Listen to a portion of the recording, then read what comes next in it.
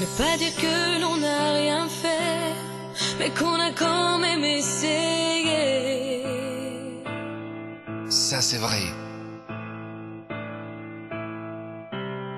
L'important c'est de commencer un petit peu chaque journée à y penser.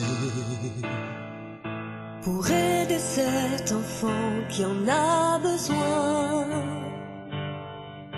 on se retrouve tous main dans la main.